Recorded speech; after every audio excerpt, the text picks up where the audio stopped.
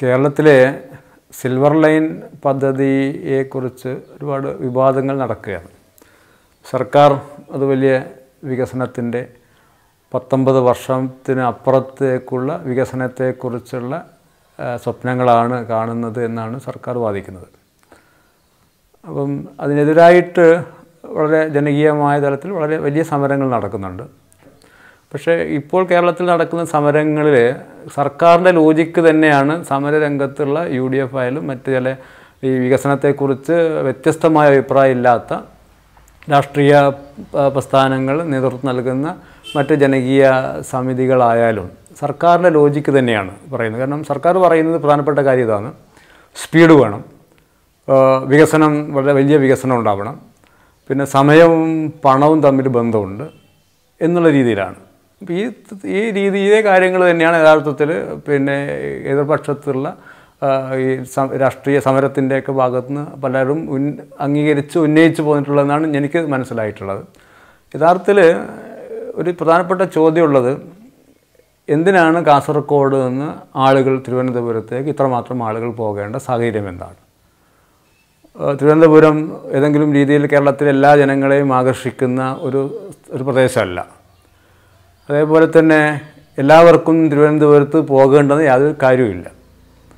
ആകെ സർക്കാർ പറയാൻ ഉദ്ദേശിക്കുന്നുണ്ടെങ്കിൽ ഉദ്ദേശിക്കുന്നത് അല്ലെങ്കിൽ പൊതുസമൂഹം ഇതിനുവേണ്ടി വാദിക്കുന്ന ആളുകൾ പറയാൻ ഉദ്ദേശിക്കുന്നത് തിരുവനന്തപുരത്ത് എത്തുക എന്ന് പറയുന്നത് ഒന്നുകിൽ റീജിയണൽ ക്യാൻസർ സെന്റർ അല്ലെങ്കിൽ സെക്രട്ടേറിയറ്റ്. ഇത് രണ്ടും യഥാർത്ഥത്തിൽ കേരളത്തിലെ മുഖ്യമായ ആളുകളുടെ രണ്ട് ഒരു ഭൂരിപക്ഷം ആളുകളുടെ ഒരു പ്രധാനപ്പെട്ട കേന്ദ്രമല്ല. അവർക്ക് ആശ്രയിക്കേണ്ട പ്രധാനപ്പെട്ട കേന്ദ്രമല്ല. ഒന്ന് ചികിത്സാ രീതികൾ വികേന്ദ്ര പിന്നെ പല രീതിയിൽ താഴെത്തട്ടിൽ വരണം എന്നുള്ള അഭിപ്രായം പൊതുവായിട്ട് സമൂഹത്തിലുണ്ട്. കേരള കേരള തലശ്ശേരിയിലെ മലബാർ ക്യാൻസർ സെന്റർ പോലെ അതേ മറ്റൊരുപാട് സ്ഥാപനങ്ങളുണ്ട്. ആരോഗ്യത്തിന്റെ കാര്യം. പിന്നെ ഈ ആശുപത്രികൾ ബിൽഡ് ചെയ്തിട്ടല്ല പിന്നെ ഒരു ജനതയുടെ ആരോഗ്യം ഉണ്ടാക്കേണ്ടത്. ജനങ്ങളുടെ സ്വാഭാവികമായിട്ട് ആരോഗ്യ പ്രതിരോധ സംവിധാനത്തെക്കുറിച്ചുള്ള ഒരു ബദൽ കാഴ്ചപ്പാട് ഈ രാഷ്ട്രീയ പാർട്ടികൾക്കോ ഈ ഗവൺമെന്റും ഇല്ല എന്നുള്ളതാണ് പ്രധാനപ്പെട്ട കാര്യം. അപ്പോൾ ആരോഗ്യ രംഗത്തെ ആ വിഷയത്തെ ജനങ്ങളുടെ ബദൽ ജീവിതശൈലിയും ബദൽ ആരോഗ്യ രോഗപ്രതിരോധ ശേഷിയുമൊക്കെ ഉയർത്തിക്കൊണ്ട് വന്ന് പരിഹരിക്കപ്പെടേണ്ട സാധനമാണത്. മറ്റൊന്ന് അധി പിന്നെ സെക്രട്ടറിയായിട്ട് ബന്ധപ്പെട്ട ജനങ്ങളുടെ ജനങ്ങളും സെക്രട്ടറിയും തമ്മിൽ അധികാര ബന്ധമാണ്. അത് യഥാർത്ഥത്തിൽ സെക്രട്ടേറിയറ്റിലെ അധികാരങ്ങൾ കേന്ദ്രീകരിക്കുന്നതുകൊണ്ടാണ്. ഇപ്പം ഈ നമ്മുടെ ജനകീയ ആസൂത്രണം പിന്നെ വികേന്ദ്ര വികേന്ദ്രീകൃത ജനാധിപത്യം എന്നൊക്കെ പറഞ്ഞ് ഈ ജനകീയ ആസൂത്രണമൊക്കെ നടത്തിയ ആളുകളാണ് ഇപ്പോൾ അധികാരത്തിരിക്കുന്ന ആളുകൾ. ജനങ്ങൾ പ്ലാൻ ചെയ്യുക ജനങ്ങൾ നിർവഹിക്കുക എന്നുള്ള അറിയാം. അതൊക്കെ ഇപ്പം പിന്നെ എല്ലാം ചവറ്റുകൊട്ടയിൽ തള്ളി കെട്ടിപ്പൂട്ടി വെച്ചിരിക്കുകയാണ്. യഥാർത്ഥത്തിൽ ഈ അധികാരം ഈ ജില്ലാ ഭരണകൂടങ്ങൾക്ക് അധികാരമുണ്ടെങ്കിൽ ജില്ലാ ഭരണകൂടങ്ങൾക്കിപ്പം ഞങ്ങളൊക്കെ പറയുന്ന രാഷ്ട്രസങ്കല്പം എന്ന് പറഞ്ഞാൽ ജില്ലയിൽ തന്നെ നിയമസഭയും അതേപോലെ അധികാര കേന്ദ്രങ്ങളും ഭരണവും ഒക്കെ ഉണ്ടാവണം. വിദ്യാഭ്യാസ രംഗത്തായാലും ആരോഗ്യ രംഗത്തായാലും കൃഷി അതിനൊട്ടനവധി രജിസ്ട്രേഷൻ ഒട്ടനവധി വകുപ്പുകൾക്ക് ജില്ലകളിൽ മാത്രം കേന്ദ്രീകരിച്ചാൽ മതി. പോലീസ് സംവിധാനം ഉൾപ്പെടെ ജില്ലകൾക്ക് കേന്ദ്രീകരിച്ചാൽ മതി. അപ്പം ജില്ലക്കപ്പുറത്തേക്ക് ഒരു മനുഷ്യനും ഭരണപരമായ കാര്യങ്ങൾക്ക് പുറത്തോട്ട് പോകേണ്ടെന്ന സാഹചര്യം ഇല്ലാതാക്കലാണ് യഥാർത്ഥത്തിൽ രാഷ്ട്രത്തിന്റെ ഒരു പുനഃസംവിധാനം എന്ന് പറയുന്നത്. അപ്പോൾ അതിനെ ഒന്നും പരിഗണിക്കാതെ അത്തരം സങ്കല്പങ്ങളില്ലാതെ എല്ലാവരും തിരുവനന്തപുരത്ത് എത്തണം കാര്യങ്ങൾ നടത്തണം. അങ്ങനെ ഒരു സിസ്റ്റം ഇപ്പോൾ തന്നെ ഇല്ല. ഇപ്പോൾ അധികാരം കേന്ദ്രീകരിക്കുന്ന ഒരു ഘട്ടത്തിൽ പോലും ഇല്ല എന്നുള്ളതാണ്. മാത്രമല്ല ഇപ്പം ഈ പൊതുവായിട്ടുള്ള ആധുനിക സാങ്കേതിക വിദ്യകൾ വരുന്നു. ആളുകൾക്ക് കൂടുതൽ ആധുനിക സൗകര്യ സാങ്കേതിക വിദ്യകളുടെ സൗകര്യം ആളുകൾ ഉപയോഗപ്പെടുത്തുന്നുണ്ട്. അപ്പോൾ തീർച്ചയായിട്ടും എല്ലാം തന്നെ ഇപ്പം ഓൺലൈനിലൂടെ സർക്കാരിന് ഭരിക്കാം എന്നുള്ള ഒരു സാഹചര്യം ഇപ്പോൾ ഉണ്ട്. അപ്പോൾ പിന്നെ ആ രീതിയിലുള്ള യാത്രക്കും പിന്നെ സാധാ സാധാരണക്കാർ ജനങ്ങളെ സംബന്ധിച്ചാലും ഒരു മധ്യവർഗത്തിൽപ്പെട്ട ജനങ്ങളെ സംബന്ധിച്ചിടത്തും ഇല്ല. പിന്നെ കേരളത്തിലെ ആളുകൾ തെക്ക് വടക്ക് യാത്ര ചെയ്യുന്നത് പല കാര്യങ്ങളുണ്ട്. തൊ- ചെറിയ തൊഴിലന്വേഷകരായ ആളുകളുണ്ട്. അന്തർസംസ്ഥാന അന്തർ സംസ്ഥാന തൊഴിലാളികൾ പലപ്പോഴും കേരളത്തിന്റെ തെക്ക് വടക്ക് തൊഴിൽ പിന്നെ സേനകളായിട്ട് പോകുന്നുണ്ട്. പിന്നെ വിദ്യാർത്ഥികൾ പലപ്പോഴും ക്ലോസ് കോഴ്സുകൾ അങ്ങോട്ടും ഈ പല സ്ഥല പ്രധാനപ്പെട്ട നഗരങ്ങളിൽ എറണാകുളം പോലെയുള്ള സ്ഥലങ്ങളിൽ കോളേജുകളുമായിട്ട് ബന്ധപ്പെട്ടു. അതൊക്കെ ഒരു കേരളത്തിലെ ജനതയുടെ ഒരു പിന്നെ ഒരു ആനുപാതികമായിട്ടുള്ള കണക്കെടുത്ത് കഴിഞ്ഞാൽ ഇവിടെ തുച്ഛമായ ആളുകളാണ്. പിന്നെ ഈ ആളുകൾക്കൊന്നും സിൽവർ ലൈൻ ഈ പോകുന്ന ആളുകൾക്കൊന്നും ഒരിക്കൽ പോലും സിൽവർ ലൈൻ വലിയ യാത്രാ മുതൽ മുടക്കുള്ള സിൽവർ ലൈൻ വഴി പോകാനും കഴിയില്ല. അപ്പോൾ ഈ രീതിയിൽ അപ്പോൾ ആ രീതിയിൽ യാതൊരു ലോജിക്കും ഇതിനകത്തില്ല എന്നുള്ളതാണ്. പിന്നെ അതേപോലെ തന്നെ ഈ വലുതും ചെറുതും. ഇപ്പം ഞാൻ നേരത്തെ പറയാം വലുതും ചെറുതും തമ്മിലൊരു വിഷയമുണ്ട് ഇതിനകത്ത്. കാരണം നമ്മൾ വികസനത്തെക്കുറിച്ച് കാണുന്നത് വലിയ ഒരു പിന്നെ സ്പെക്ട്രത്തിലാണ് കാണുന്നത്. യഥാർത്ഥത്തിൽ ചെറുതാണ് യഥാർത്ഥത്തിൽ ലോകത്തിന്റെയും പ്രപഞ്ചത്തിന്റെയൊക്കെ ഒരു സത്ത എന്ന് പറയുന്നത്. ചെറുതിലാണ് കൂടുതൽ സൗന്ദര്യം ഉണ്ടെന്ന് പറയുന്നത് അതുകൊണ്ടാണ്. അപ്പോൾ നമ്മൾ ചെറിയ രീതിയിൽ വികസനത്തെക്കുറിച്ച് ചിന്തിക്കാതെ കേരളത്തിലെ ഇപ്പം കേരളത്തിന് ഒരുപാട് സാധ്യതകളുണ്ട്. പശ്ചിമഘട്ടം എന്ന് പറയുന്നത് വലിയ സാധ്യതകളാണ്. കേരളത്തിലെ വിഭവങ്ങൾ എന്ന് പറയുന്നത് വലിയ സാധ്യതകളാണ്. അപ്പോൾ ഈ രീതിയിലുള്ള ഒരുപാട് വികസിക്കാനുള്ള ഈ എന്നത്തെ ആധുനിക മാർക്കറ്റിന്റെ ആവശ്യങ്ങൾക്കനുസരിച്ച് പോലും കേരളത്തിലെ തനതായിട്ടുള്ള കേരളത്തിന്റെ തന്നെ പാരമ്പര്യ രീതികളെ ഉൾക്കൊണ്ട് കൊണ്ടുകൊണ്ടുള്ള ചില ഉൽപ്പാദനപരമായിട്ടുള്ള വികാസത്തിന് ഒരുപാട് സാധ്യതകൾ കേരളത്തിനുണ്ട്. പക്ഷേ ഇപ്പോൾ സംഭവിക്കുന്നത് വികസനം എന്ന് പറഞ്ഞാൽ ഗതാഗതവുമായി ബന്ധപ്പെട്ടു എന്നുള്ളതാണ്. ഇപ്പം ഈ ഇതിന്റെ സിസ്റ്റർ ഇവരുടെ പഠനത്തിന്റെ ഈ ഡി പി ആറിന്റെ ചില കാര്യങ്ങൾ പുറത്തു വരികയുണ്ടായി. അതിൽ പ്രധാനമായിട്ടും പറയാ ഒരു പറഞ്ഞു വരുന്നത് അതിന്റെ ഒരു പ്ലാറ്റ്ഫോം പറഞ്ഞു വരുന്നത് ഈ ജൈവ വൈവിധ്യ സമ്മേളനം അല്ലെങ്കിൽ ഈ പിന്നെ കാലാവസ്ഥാ വ്യതിയാന സമ്മേളനം നടന്നു. അപ്പോൾ കാർബൺ എമിഷൻസ് കുറക്കണം. ഗതാഗതമാണ് റോഡ് ഗതാഗതമാണ് കാർബൺ എമിഷൻസ് കൂട്ടുന്ന ഒരു സംവിധാന ഒരു ഇതുള്ളത്. അപ്പോൾ അത് അപ്പോൾ ആ ഗതാഗത സംവിധാനത്തിലേക്ക് ഈ രീതിയിലുള്ള ഗതാഗത സംവിധാനത്തിലേക്ക് കാർബൺ എമിഷൻ കുറവുള്ള ഗതാഗത സംവിധാനത്തിലേക്ക് പോകലാണ് കാലാവസ്ഥാ വ്യതിയാന സമ്മേളനത്തിന്റെ പ്രധാനപ്പെട്ട കാര്യപരിപാടി എന്ന് പറഞ്ഞുകൊണ്ടാണ് ഇതിന്റെ ഈ ഡി പി ആർ ഇത്തരം കാര്യങ്ങൾ അവതരിപ്പിക്കുന്നത്. യഥാർത്ഥത്തിൽ കാലാവസ്ഥാ വ്യതിയാനം എന്ന് പറയുന്നത് ഗതാഗതം കൊണ്ട് മാത്രമല്ല കാലാവസ്ഥാ വ്യതിയാനത്തിന്റെ പ്രധാനപ്പെട്ട എമിഷൻസ് കാരണക്കാരായ എമിഷൻസ് ഉണ്ടാകുന്നത്. ഗതാഗതം എന്ന് പറയുന്ന ഒരു ഒരു ഘടകം മാത്രമാണ്. അപ്പോൾ അത് അതുപോലും ഇവിടെ പരിഹരിക്ക അഡ്രസ്സ് ചെയ്യപ്പെടുന്നില്ല എന്നുള്ളത്. കാരണം കാർബൺ എമിഷൻസ് കൂടുന്നത് ഈ മോട്ടറബിൾ ആയിട്ടുള്ള വാഹനങ്ങളുടെ ഈ വാഹനങ്ങളുടെ പുകയിൽ നിന്ന് കൊണ്ട് മാത്രമല്ലല്ലോ. കാരണം ഏത് നിർമ്മാണം അമിതമായി ഊർജം ഉപയോഗിച്ചുകൊണ്ടുള്ള ഏതൊരു നിർമ്മാണത്തിലും ഈ കാർ ഈ കാലാവസ്ഥാ വ്യതിയാനത്തിന് കാരണമാകുന്ന സംഭവവികാസങ്ങൾ ഉണ്ടാകുന്നുണ്ട്. അപ്പോൾ ആ രീതിയിൽ പിന്നെ ഈ പാറ പൊട്ടിക്കുമ്പോൾ കൂടുതൽ ഭൂമിയുടെ സ്വാഭാവികമായിട്ടുള്ള ഈ പാരിസ്ഥിതികമായിട്ടുള്ള ബാലൻസ് തെറ്റുമ്പോഴൊക്കെ തന്നെയും ഈ കാർബൺ അല്ലെങ്കിൽ കാലാവസ്ഥാ വ്യതിയാനത്തിന് കാരണമാകുന്ന കാര്യങ്ങൾ. അപ്പം കേരളത്തിലെ ദേശീയപാതയിലുള്ള വാഹനങ്ങൾ മുഴുവൻ സിൽവർ ലൈനിൽ കൊണ്ടുവന്ന് കേരളത്തിലെ കാലാവസ്ഥാ വ്യതിയാനത്തിന്റെ പ്രശ്നം പരിഹരിക്കാം എന്ന് പറയുന്നത് വലിയ ബോഷ്കത്തരാണ് കാരണം പശ്ചിമഘട്ടം പോയി കഴിഞ്ഞാൽ വനങ്ങൾ പോയി കഴിഞ്ഞാൽ തണ്ണീർത്തടങ്ങൾ പോയി കഴിഞ്ഞാൽ ഇപ്പം കൂടുതൽ എംബാങ്ക്മെന്റുകൾ ഇട്ടുകൊണ്ട് വെള്ളത്തെ തടഞ്ഞു നിർത്തിക്കൊണ്ട് അല്ലെങ്കിൽ കേരളത്തെ ഇങ്ങനെ പല പല രീതിയിൽ കിറിമുറിച്ചുകൊണ്ട് വളരെ പിന്നെ കേരളത്തിന്റെ പരിസ്ഥിതിയുമായിട്ട് അങ്ങേയറ്റത്തെ വിരുദ്ധ ധ്രുവത്തിൽ നിൽക്കുന്ന ഒരു പദ്ധതി വരുമ്പോൾ തീർച്ചയായിട്ടും അവിടെ ഉണ്ടാകുന്ന ഇതിനേക്കാൾ ഉണ്ടാകുന്ന ഇപ്പം കാർബൺ എമിഷൻസ് കുറച്ച് ആകെ വന്നാൽ ഏഴോ എട്ടോ ഒമ്പതോ കമ്പാർട്ട്മെന്റ് പോകുന്ന ആളുകളുടെ ഒരു യാത്രാ സൗകര്യം കൊണ്ട് കുറക്കാവുന്ന കാർബൺ എമിഷൻസിനേക്കാൾ അപ്പുറത്ത് ഒരുപാട് കാർബൺ എമിഷൻസ് ഇതിന്റെ പിന്നെ നിർമ്മാണ പ്രക്രിയയിൽ ഉണ്ടാകുന്നുണ്ട്. അപ്പം അപ്പോൾ അപ്പോൾ അത് തന്നെ ഇവരെ എല്ലാ ലോജിക്കലും ഹരിത പദ്ധതിയാണെന്നുള്ള എല്ലാ വാദങ്ങളെയും ഗണ്ണിക്കുന്നതാണ് ഇത്തരം കാര്യങ്ങളെന്ന് പറയുന്നത്. അപ്പോൾ അത് ഈ രീതിയിൽ വിഷയത്തെ സമഗ്രമായ രീതിയിൽ കാണേണ്ടതുണ്ട്. ഇത് ഇത് ഇരകളുടെ ഒരു മാത്രം വിഷയമല്ല. ഇരകൾ ഒരു പക്ഷേ കൂടുതൽ പണം കിട്ടിക്കഴിഞ്ഞാൽ ഒരു പക്ഷേ കേരളത്തിലെ ജനങ്ങൾ ഒരു പക്ഷേ ഈ ഇരകളാക്കപ്പെടുന്ന ആൾ കുടിയൊഴിപ്പിക്കപ്പെടുന്ന ഒരു വിഷയം പരിഹരിക്കപ്പെടാം. ദേശീയപാതയുടെ കാര്യത്തിലൊക്കെ സംഭവിച്ചതാണ്. പക്ഷേ വിഭവങ്ങൾ എങ്ങനെയാണ് ഉണ്ടാകുക എന്നുള്ളതാണ്. ഇപ്പം കേരളത്തിൽ തന്നെ ഇപ്പോൾ ദേശീയപാതകൾക്ക് ഇരുവശമുള്ള കെട്ടിടങ്ങൾ പൊളിച്ച് കുത്തിപ്പൊട്ടിച്ച് ആ കല്ലുകൾ പോലും വിഭവങ്ങൾ വളരെ അമൂല്യമായിട്ടുള്ളതാണ് ചെങ്കൽ കല്ലുകൾ എന്ന് പറയുന്നത്. കാരണം കേരളത്തിൽ ചെങ്കൽ കല്ലുകൾ ഇനി കിട്ടാനില്ലാത്ത അവസ്ഥ വരുന്നു. ഇത്രയും വീടുകൾ ഇനിയും എടുക്കേണ്ടതായിട്ടുണ്ട്. അപ്പോൾ കേരളയിൽ വരുമ്പോൾ കുടിയൊഴിപ്പിക്കപ്പെടുന്ന അല്ലെങ്കിൽ തറക്കപ്പെടുന്ന കെട്ടിടങ്ങൾ പകരം കെട്ടിടം ഉണ്ടാക്കണം. ആ കെട്ടിടങ്ങൾ മുഴുവൻ ഇടിച്ച് പൊളിച്ച് വെറും മണ്ണാക്കിയിട്ട് മാറ്റി വയറ് നിർത്താനുള്ള ഒരു സാധനമായിട്ട് മാത്രം മാറുകയാണ്. അപ്പോൾ ഇങ്ങനെ നഷ്ടപ്പെടുന്ന വിഭവങ്ങൾ എങ്ങനെയാണ് നമുക്ക് വീണ്ടെടുക്കാൻ കഴിയുക? അപ്പോൾ ഇങ്ങനെയുള്ള പാരിസ്ഥിതികമായിട്ടുള്ള ഒരുപാട് പ്രശ്നങ്ങളില്ലാത്തതുകൊണ്ട് പാരിസ്ഥിതികമായിട്ട് ഈ വിഷയത്തെ ഏറ്റവും കൂടുതൽ കേരളത്തിന്റെ ഭൂപ്രകൃതിയായി ബന്ധപ്പെട്ട് കാലാവസ്ഥയായിട്ട് ബന്ധപ്പെട്ട് പാരിസ്ഥിതിക വ്യവസ്ഥയായിട്ട് ബന്ധപ്പെട്ട് നോക്കിക്കാണുമ്പോൾ ഇത് പാരിസ്ഥിതികമായിട്ട് ദുരന്തം സമാ സമ്മാനിക്കുന്നു അപ്പം കുടിയൊഴിപ്പിക്കപ്പെടുന്ന ആളുകൾ ഇരകളുടെ ഒരു വിഷയമല്ല. ഒരുപക്ഷേ ഈ സമരം ഒരുപക്ഷേ ആ രീതിയിൽ ഫോക്കസ് ചെയ്യപ്പെട്ടേക്കാം. കാരണം ഇത് എതിർക്കുന്ന യു ഡി എഫിനൊന്നും കൃത്യമായിട്ട് അവരുടെ ഒരു ബദൽ വികസന സങ്കല്പമില്ലാത്തതുകൊണ്ട് ആ രീതിയിൽ സമരത്തിന്റെ അജണ്ട ചുരുക്കപ്പെടാമെങ്കിലും യഥാർത്ഥത്തിൽ കേരളത്തിലെ പാരിസ്ഥിതികവും സാമ്പത്തികവുമായിട്ടുള്ള ഏറ്റവും വലിയ കടക്കണിയിലേക്കാണ് പോകുന്നത്. ഇപ്പം കഴിഞ്ഞ ദിവസം ക്ഷേമ പെൻഷനുകൾ കൊടുക്കാൻ വേണ്ടി ആയിരം കോടി രൂപ സർക്കാർ വായ്പ എടുക്കേണ്ടായി കഴിഞ്ഞ ദിവസം അതിന് രണ്ടാഴ്ച മുമ്പ് പ്രധാനമന്ത്രി കേന്ദ്ര ഗവൺമെന്റ് പറഞ്ഞത് ഞങ്ങൾ ഈ സിൽവർ ലൈൻ പദ്ധതിക്ക് കേന്ദ്ര ധനസഹായം ലഭിക്കില്ല എന്ന് തീർത്ത് പറയണ്ടേ. അപ്പോൾ അപ്പോൾ മുഖ്യമന്ത്രി പറഞ്ഞത് കേരളം അതിന്റെ ബാധ്യത ഏറ്റെടുക്കും എന്നാണ് പറയുന്നത്.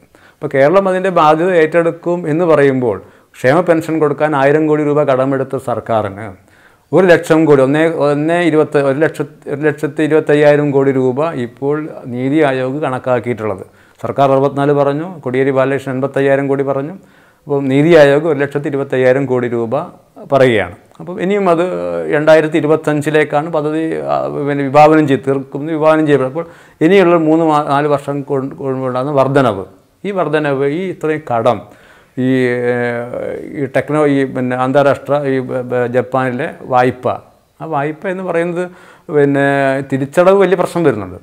കാരണം കേരള ഇന്ത്യയുടെ പണത്തിന്റെ മൂല്യം കുറയുന്നതനുസരിച്ച് നമ്മുടെ വായ്പയുടെ തിരിച്ചടവിന്റെ ഒരു ഭാരം കൂടിക്കൂടി വരും അപ്പോൾ കേരളത്തിൽ ജനങ്ങൾ മുഴുവൻ ആ ഭാരം ജനങ്ങളിലേക്ക് അടിച്ചേൽപ്പിക്കപ്പെടാൻ പോവുകയാണ് അപ്പോൾ. പിന്നെ മറ്റൊരിന്റെ അകത്ത് ഒരു പിന്നെ ഒരുപാട് വിഷയങ്ങൾ. അതൊന്നും നമ്മൾ യഥാർത്ഥ വിഷയമായിട്ട് ബന്ധപ്പെടുമ്പോൾ അതൊക്കെ വളരെ ഒരു ചെറിയ വിഷയങ്ങളാണ്. കാരണം അതായത് ടെക്നോളജി ട്രാൻസ്ഫർ അവരെ ടെക്നോളജി നമ്മൾ ഉപയോഗിക്കണം എന്ന് പറയും ഇതൊക്കെ വായ്പയിലെ ചില കണ്ടീഷൻസ് ആണ് അപ്പോൾ അതൊക്കെ തന്നെയും ഈ അതിൽ തന്നെ ആക്ഷേപമുണ്ട്. ഒരു പിന്നെ ഔട്ട്ഡേറ്റ് ആയിട്ടുള്ള ജപ്പാനൊക്കെ പുറന്തള്ളിയ ടെക്നോളജി കേരളത്തിലേക്ക് കൊണ്ടുവരുന്നു എന്നുള്ള ഒക്കെയുള്ള ആക്ഷേപം അതിന്റെ അകത്തുണ്ട്. അതൊക്കെ നിലനിൽക്കുമ്പോഴും പ്രധാനപ്പെട്ട വിഷയം കേരളത്തെ സംബന്ധിച്ചെടുത്ത് സാമ്പത്തികവും പിന്നെ പാരിസ്ഥിതികവും ഇതേപോലെയുള്ള നമ്മുടെ അധികാരത്തിന്റെ ജനങ്ങളും ഇപ്പോൾ ജനകീയ അധികാര ജനകീയ ആസൂത്രണത്തിൽ ജനകീയ പങ്കാളിത്തത്തെക്കുറിച്ചാണ് പറയുന്നത് ജനങ്ങളുടെ ഒരു പങ്കാളിത്തമുള്ള ജനാധിപത്യത്തിലേക്ക് എപ്പോഴാണ് ഇന്ത്യയ്ക്ക് മുന്നേറാൻ കഴിയുക എന്നുള്ളതാണ്. ജനങ്ങളോട് എന്താണ് ചോദിക്കുക? ജനങ്ങളുടെ അനുമതി ഇല്ലാതെ എങ്ങനെയാണ് ജനാധിപത്യത്തിന്റെ അടിസ്ഥാനപരമായ ജനാധിപത്യത്തിൽ ഈ വിഷയങ്ങളെ പരിഹരിക്കാൻ കഴിയുക? ജനങ്ങൾക്ക് പറയാനുള്ളത് എവിടെയാണ് ജനങ്ങൾ പറയേണ്ടത്? ജനങ്ങളോട് ചോദിച്ചിട്ടുണ്ടോ? അപ്പോൾ ചോദിക്കുമ്പോൾ നിയമസഭയുണ്ട്. ഇതൊക്കെ ജനങ്ങളുടെ മേലുള്ള അധികാര കുത്തകളാണ് ആദ്യം പറയുന്നതൊക്കെ. ജനങ്ങളുടെ ഒരു പങ്കാളിത്ത ജനാധിപത്യത്തിന്റെ കാലഘട്ടത്തിൽ അതിനുള്ളൊരു സങ്കല്പം പറയുന്ന കാലഘട്ടത്തിൽ ചെറിയ സമൂഹങ്ങളുള്ളൂ ഗ്രാമസഭകൾ. ഇപ്പം ഉദാഹരണത്തിന് എനിക്ക് തോന്നിയില്ല കേരളത്തിലെ ബയോഡൈവേഴ്സിറ്റി മാനേജ്മെന്റ് കമ്മിറ്റികളുണ്ട് അത് നമുക്ക് അധികാര വികേന്ദ്രീകരണം നടന്നു ഗ്രാമ സ്വരാജ് വന്നു അല്ലെങ്കിൽ പഞ്ചായത്ത് രാജ് സംവിധാനങ്ങൾ വന്നു. പക്ഷേ പഞ്ചായത്ത് രാജ് സംവിധാനങ്ങൾക്കും കേരളത്തിലെ പഞ്ചായത്ത് രാജ് സംവിധാനങ്ങൾക്കും ഈ പദ്ധതികൾ പിന്നെ നടപ്പിലാക്കുക എന്നുള്ളതിനപ്പുറത്ത് പദ്ധതികൾ ആസൂത്രണം ചെയ്യാനൊന്നും കഴിയില്ല. അപ്പോൾ പക്ഷേ ബയോഡൈവേഴ്സിറ്റി മാനേജ്മെന്റ് കമ്മിറ്റികളിലൂടെ ചെറിയ അധികാരം ജനങ്ങൾ കിട്ടുന്നുണ്ട്. അതായത് പ്രദേശത്ത് അവരുടെ ബയോഡൈവേഴ്സിറ്റിക്ക് വിരുദ്ധമായിട്ടുള്ള പദ്ധതികൾ വരുന്നുണ്ടെങ്കിൽ അതിനെ എതിർക്കാൻ ബയോഡൈവേഴ്സിറ്റി മാനേജ്മെന്റ് കമ്മിറ്റികളിലൂടെ ഗ്രാമസഭകൾക്ക് കഴിയുമായിരുന്നു. പക്ഷേ ആ ബയോഡൈവേഴ്സിറ്റി മാനേജ്മെന്റ് കമ്മിറ്റികൾ പലരും ഉണ്ടാക്കിയിട്ടില്ല. പല പഞ്ചായത്തിലും ഉണ്ടാക്കി വളരെ വളരെ തുച്ഛമായിട്ടുള്ള പഞ്ചായത്തുകളാണ് അതുപോലെ ഉണ്ടായിട്ടുള്ളത്.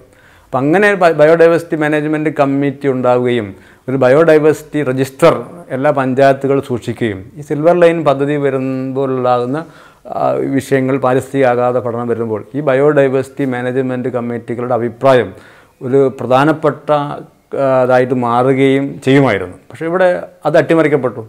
അപ്പോൾ ജനങ്ങൾക്ക് ഒരു പറയാൻ കിട്ടുന്നൊരു സ്പേസ് പഞ്ചായത്ത് രാജിലില്ലാത്ത എന്നാൽ ബയോഡൈവേഴ്സിറ്റി മാനേജ്മെന്റ് കമ്മിറ്റിയിൽ കിട്ടാവുന്ന അധികാരത്തെ പിന്നെ അഭിപ്രായം പറയാനുള്ള ചില സ്വന്തം പ്രദേശത്ത് പോകുന്ന കൂടെ പോകുന്ന വികസനത്തിൽ ഒരു തീരുമാനം പറയാനുള്ള ജനങ്ങളുടെ അവകാശം നഷ്ടപ്പെടുത്തിക്കൊണ്ടാണ്. അപ്പം ജനങ്ങളുടെ അധികാരങ്ങളുടെയും അവകാശങ്ങളെയും ഒക്കെ നഷ്ടപ്പെടുത്തിക്കൊണ്ടാണ് ഈ വലിയൊരു പ്രൊജക്റ്റ് ഒരു രാഷ്ട്രീയമായിട്ടുള്ള പ്രൊജക്റ്റ് ജനങ്ങളെ മേൽ അടിച്ചേൽപ്പിക്കുന്നത് അപ്പോൾ അധികാര ജനാധിപത്യ വിരുദ്ധമാണ് സാമൂഹ്യ വിരുദ്ധമാണ് കൾച്ചറലായിട്ട് ജനങ്ങൾ ഇപ്പം ഈ സമ ജീവിക്കുന്ന ആളുകൾ അവരുടെ കൾച്ചറൽ പശ്ചാത്തലത്തിൽ നിന്ന് ജനങ്ങൾ വെട്ടുമാറി പോകുമ്പോൾ ഉണ്ടാകുന്ന ഒരുപാട് വിഷയങ്ങൾ സാമൂഹ്യ ആഘാതങ്ങളൊക്കെ ഉണ്ടാകുന്ന ഒരു പദ്ധതിയാണ്. അപ്പോൾ ഇതിനെ ഈ രീതിയിലുള്ള ഒരു ലോജിക്കാണ് യഥാർത്ഥത്തിൽ ഈ സമരത്തിന്റെ ലോജിക്കായി മാറേണ്ടത്. അതായത് ഇരകളുടെ ഒരു സമരമായിട്ട് ഇതിനെ ചുരുക്കി കൊണ്ടുപോകുന്ന ഒരു ശൈലി നിലവിലുണ്ട്. ആ ശൈലിക്ക് ബദലായിക്കുക ബദലായിക്കും ആ ശൈലിക്ക് അപ്പുറത്തേക്ക് സമരം വികസിക്കണം എന്നുള്ളതാണ് കേരളത്തിന്റെ തന്നെ ആവശ്യം ജനങ്ങളുടെ ആവശ്യം എന്നാണ് എനിക്ക് തോന്നിയിട്ടുള്ളത്. എന്തുകൊണ്ടാണ് കേരള സർക്കാർ ഇത്രമാത്രം താഴെത്തട്ടിൽ പക്ഷേ സി പി എമ്മിന്റെ അണികളിൽ നിന്ന് പോലും ഇടതുപക്ഷ ജനാധിപത്യ മുന്നണിയുടെ അണികളിൽ നിന്ന് പോലും പ്രതിരോധം നേരിട നേരിട്ടുകൊണ്ട് എന്തുകൊണ്ടാണ് ഈ സർക്കാർ ഈ പദ്ധതിയുമായിട്ട് മുന്നോട്ട് പോകുന്നത്? സ്വാഭാവികമായിട്ടും റിയൽ എസ്റ്റേറ്റ് താല്പര്യങ്ങളുണ്ട് എന്നുള്ള കാര്യം തർക്കമൊന്നുമില്ല. കാരണം ഇതിന്റെ പദ്ധതി രേഖകളിലൊക്കെ തന്നെയും റിയൽ എസ്റ്റേറ്റ് സൗകര്യങ്ങൾ കൂടി വേണ്ടി ഭൂമി ഏറ്റെടുക്കുന്നതിനെക്കുറിച്ചൊക്കെ പറയുന്നുണ്ട്. കേരളത്തിൽ കണ്ണൂർ ജില്ലയിലെ ജലബാധയുടെ കാര്യത്തിലൊക്കെ സംഭവിച്ചതുപോലെ. തീർച്ചയായിട്ടും റിയൽ എസ്റ്റേറ്റ് പ്രവർത്തനങ്ങൾ അതിന്റെ സൗകര്യങ്ങൾ അതൊരു പിന്നെ മൂല ആ രീതിയിലുള്ളൊരു പിന്നെ ഒരു വ്യവസായ സാധ്യതകൾ വാണിജ്യ സാധ്യതകളൊക്കെ അവർ കാണുന്നുണ്ട്. അതിനപ്പുറത്ത് ഇത് പിന്നെ ചില ആൾ പിന്നെ വിമർശകർ ഉന്നയിക്കുന്ന പ്രധാനപ്പെട്ട പിന്നെ പ്രധാനപ്പെട്ട കാര്യം. ഇതിനകത്തൊരു ചോദ്യമായിട്ട് ഉന്നയിച്ചിട്ടുള്ളത് മുഖ്യമന്ത്രി കേരളത്തിലെ ഇന്നത്തെ മുഖ്യമന്ത്രി പിണറായി വിജയന്റെ സാമ്പത്തിക താല്പര്യങ്ങൾ ഒക്കെയാണ് ഇതിനകത്ത് പ്രധാനമായിട്ടും പറഞ്ഞു കാണുന്നുള്ളത് പക്ഷേ എന്റെ അഭിപ്രായത്തിൽ പിണറായി വിജയന്റെ താല്പര്യം ഒക്കെയോ ഉണ്ടാവാം അദ്ദേഹത്തിന്റെ റിയൽ എസ്റ്റേറ്റ് താല്പര്യങ്ങളൊക്കെ ഉണ്ടാകാം. പക്ഷേ അതിനേക്കാൾ പ്രധാനം ഇതിനകത്ത് രാഷ്ട്രീയമായ വിഷയമുണ്ട്.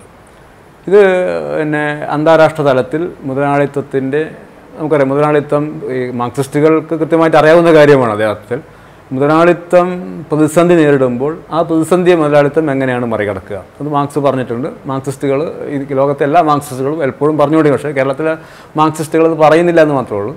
മുതലാളിത്തം പ്രതിസന്ധി നേരിടുന്ന ഘട്ടത്തിൽ എങ്ങനെയാണ് അതിന്റെ പ്രതിസന്ധി മറികടക്കാൻ കഴിയുക എന്നുള്ളത്? അപ്പം സ്വാഭാവികമായിട്ടും ഈ മൂലധനം മുതലാളിത്തം മൂലധനത്തിന്റെ ഒരു ചംക്രമണം എപ്പോഴും ഇങ്ങനെ സാധ്യമായിക്കൊണ്ടിരിക്കണം. സാമ്പ സാമ്പത്തിക മേഖലയിൽ. അത് ആ ഒരു സംക്രമണത്തിന് ഒരു ബ്രേക്ക് വന്നു കഴിഞ്ഞാൽ മുതലാളിത്തത്തിന്റെ പ്രതിസന്ധിയിൽ ആഴം കൂടുകയാണ് അപ്പം ആ സംക്രമണം ഇപ്പം ടെക് മിത്സുബിഷിയുടെ അല്ലെങ്കിൽ ജപ്പാനിലെ ഒരു ഔട്ട്ഡേറ്റ് ആയിട്ടുള്ള ടെക്നോളജി ആ ടെക്നോളജി അതിന്റെ സാമ്പത്തിക ധനസഹായത്തോട് ഉൾപ്പെടെ വായ്പയിലൂടെ നമുക്ക് കിട്ടുകയും ആ വായ്പ ആ ടെക്നോളജിയും വായ്പയും നമ്മുടെ ഇവിടുത്തെ മുതലാളിത്ത രീതിയിലുള്ള വികസനത്തിന്റെ ഒരു എഞ്ചിനായിട്ട് മാറുകയും ചെയ്യാം. അപ്പോൾ അത് ഒരു മുതലാളിത്ത ഒരു ഒരു പിന്നെ അതിന്റെ വികാസത്തിൽ അതിന്റെ മൂലധനത്തിന്റെ സംക്രമണത്തിന് സാധ്യമായ വികസന പദ്ധതികൾ കേരളത്തിൽ സൗകര്യം ചെയ്തു കൊടുക്കുക എന്നുള്ള രീതിയിലാണ് ഇപ്പോൾ അതിനെ പ്രധാനമായിട്ടും കാണേണ്ടത്. അല്ലാതെ പിണറായി വിജയന്റെ അദ്ദേഹം മുഖ്യമന്ത്രി എന്നുള്ള രീതി അല്ലെങ്കിൽ വ്യക്തി എന്നുള്ള രീതിയിൽ അദ്ദേഹത്തിന് സാമ്പത്തിക താല്പര്യങ്ങളുണ്ടാകാം ഈ സാമ്പത്തിക താല്പര്യങ്ങളില്ലെങ്കിൽ പോലും അതിന് നമുക്ക് സാമ്പത്തിക താല്പര്യങ്ങളുണ്ടോ എന്നുള്ള നമുക്ക് തെളിവുകളൊന്നും നമ്മുടെ മുന്നിലില്ല. ഇനി അത് അദ്ദേഹം വളരെ സത്യസന്ധനായിട്ടുള്ള അല്ലെങ്കിൽ അദ്ദേഹത്തിന് യാതൊരു താല്പര്യം ഇത്തരം ഈ താല്പര്യമില്ല എന്ന് വന്നാൽ തന്നെയും ഈ വിഷയം അവിടെയുണ്ട്. ഇപ്പം പലപ്പോഴും ആളുകൾ സൂചിപ്പിക്കാറുള്ളത് പിന്നെ ഈ ഈ പിണറായി വിജയൻ ഇപ്പം പഴയ മാർക്സിസ്റ്റുകൾ മുൻകാല മാർക്സിസ്റ്റുകളൊക്കെ മുഖ്യമന്ത്രിയുടെ പിണറായി വിജയൻ കമ്മ്യൂണിസ്റ്റെ വഞ്ചിച്ചു അല്ലെങ്കിൽ ഇടതുപക്ഷ രാഷ്ട്രീയത്തെ ഒറ്റുകൊടുത്തു എന്നുള്ള രീതിയിലാണ്. യഥാർത്ഥത്തിൽ അങ്ങനെയല്ല കാരണം വികസനത്തെക്കുറിച്ചുള്ള കമ്മ്യൂണിസ്റ്റ് സങ്കല്പമുണ്ട്. അത് വൻകിട വികസനത്തിലുള്ള സങ്കല്പമാണ്. എന്തുകൊണ്ടാണ് ഇ എം എസ് ശങ്കരൻ നമ്പൂതിരിപ്പാടിന്റെ കാലത്ത് ഇ എം എസിന്റെ കാലത്ത് കേരളത്തിൽ ബിർളയെ കൊണ്ടുവന്നത് എന്ന് ഉള്ളൊരു ഉത്തരം തേടിയാൽ നമുക്ക് മനസ്സിലാവും. എന്തായിരുന്നു കേരള ഇന്ത്യയിലെ കമ്മ്യൂണിസ്റ്റ് പ്രസ്ഥാനങ്ങളുടെ വികസനത്തെക്കുറിച്ചുള്ള സങ്കല്പം എന്തായിരുന്നു നമുക്ക് മനസ്സിലാവും. അപ്പോൾ ഇ എം എസ് നമ്പൂതിരിപ്പാടിന്റെ മേൽ നമുക്ക് ഒരിക്കൽ പോലും ഈ രീതിയിലെ മൂലധന താല്പര്യമോ സാമ്പത്തിക താല്പര്യമോ ഒന്നും പറയാൻ വേണ്ടി കഴിയില്ല. കാരണം അദ്ദേഹം അദ്ദേഹത്തിന്റെ സമ്പാദ്യം മുഴുവൻ പാർട്ടിക്ക് കൊടുത്ത് അദ്ദേഹം അവസാനം നിസ്വനായിട്ട് ജീവിച്ച ആളാണ്. അപ്പോൾ അദ്ദേഹത്തെ ഒരിക്കൽ പോലും നമുക്ക് ആ രീതിയിൽ അദ്ദേഹത്തിന് അങ്ങ് താല്പര്യമുണ്ടെന്ന് നമുക്ക് ഒരിക്കൽ പോലും പറയാൻ കഴിയില്ല.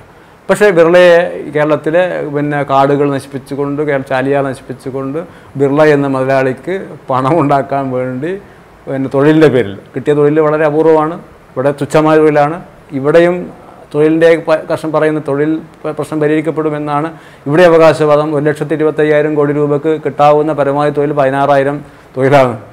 പതിനായിരം പേർക്കുള്ള തൊഴിലാണ് അതിന്റെ സിൽവർ ലൈൻ പദ്ധതിയിൽ. പിന്നെ ഓരോ വർഷവും അഞ്ഞൂറ് കോടി വീതം കൂടുതൽ ഇതിന് ഇതിന്റെ മെയിന്റനൻസ് വേണ്ടി വരും എന്നൊക്കെ പറയുമ്പോൾ അത്രയും മൂലധന മുടക്കിൽ പതിനാറായിരം ആൾക്കാണ് പണി കിട്ടുന്നതെങ്കിൽ അത് തൊഴിൽപരമായിട്ട് അല്ലെങ്കിൽ തൊഴിൽ ലഭ്യതയുമായിട്ട് അതിന് അനു അനുപാതവുമായിട്ട് യാതൊരു രീതിയിലും പൊരുത്തപ്പെടുന്നതല്ല. അപ്പോൾ തൊഴിൽ ലഭ്യതയ്ക്ക് വേണ്ടിയല്ല എന്നുള്ളത് വളരെ വ്യക്തമാണ്. പിന്നെയുള്ള അവശേഷിക്കുന്ന ഒരേ കാര്യം കമ്മ്യൂണിസ്റ്റ് പാർട്ടികളുടെ വികസനത്തിന്റെ പ്രശ്നമായി ബന്ധപ്പെട്ട് അവരുടെ വികസന മാതൃക എന്ന് പറയുന്നത് തീർച്ചയായിട്ടും മുതലാളിത്ത വികസനത്തിന്റെ മറ്റൊരു വശം മാത്രമാണ്. അത് സ്റ്റേറ്റ് നടപ്പിലാക്കുന്നു എന്നുള്ള വ്യത്യാസമാണ് അതിന്റെ താത്വികമായിട്ട് അതിനെ വ്യത്യാസമായിട്ട് പറയാൻ വേണ്ടി കഴിയുള്ളൂ. അതാണ് പ്രധാനപ്പെട്ട കാരണം കേരളത്തിലെ ഗവൺമെന്റ് ഈ പദ്ധതി മുന്നോട്ട് പോകുന്നത് എന്തുകൊണ്ട് എന്നുള്ള ചോദ്യത്തിന് പ്രധാനപ്പെട്ട ഉത്തരം കമ്മ്യൂണിസ്റ്റ് ഇന്ത്യയിലെ കമ്മ്യൂണിസ്റ്റ് പാർട്ടികൾ ലോകത്തെമ്പാടുമുള്ള കമ്മ്യൂണിസ്റ്റ് പാർട്ടികളുടെ വികസന മാതൃക എന്ന് പറയുന്നത് മുതലാളിത്ത വികസന മാതൃകയുടെ മറ്റൊരു പതിപ്പാണ് എന്നുള്ള കൃത്യമായ ഉത്തരമാണ് നമുക്കതിന് വേണ്ടി പറയാൻ കഴിയുക.